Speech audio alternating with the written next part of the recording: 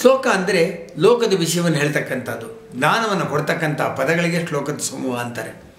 ಹಾಗೆಯೇ ತಾವು ಏನೇನು ಶ್ಲೋಕವನ್ನು ಹೇಳ್ತಿರೋ ಅದೆಲ್ಲ ಜ್ಞಾನಕ್ಕೆ ಸಂಬಂಧಪಟ್ಟಿರ್ತಕ್ಕಂಥದ್ದು.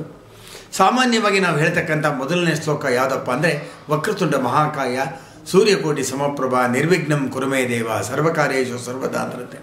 ಇದನ್ನೇನು ಅಂತ ತಿಳ್ಕೊಳ್ಳೋಣ. ಒಬ್ಬ ವಿಜ್ಞಾನಿನ ಕೇಳಿದ್ರಂತೆ, ಬೆಳಕು ಅಂದರೆ ಏನು ಸ್ವಾಮಿ ಇದ್ರಂತೆ ಅವನು ಹೇಳಿದ್ರಂತೆ ಲೈಟ್ ಇದೆ ವೇವ್ ಅಂಡೆ ಪಾರ್ಟಿಕಲ್ ಅನ್ನಂತೆ.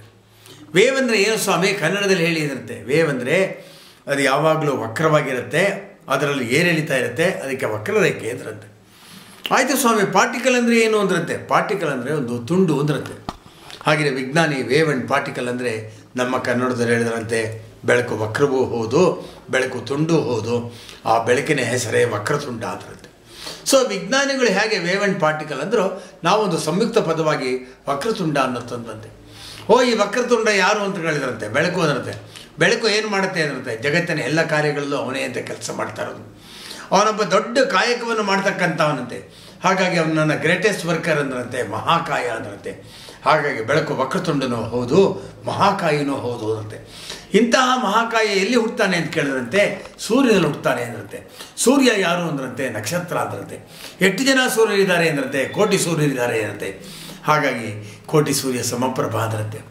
ಬೆಳಕು ನಿರ್ವಿಘ್ನವಾಗಿ ಬರುತ್ತಂತೆ. ಗ್ರಹಗಳಿಗೆ ಕುರು ಅಂತಾರೆ, ಭೂಮಿಗೆ ದೇವ ಅಂತಾರೆ.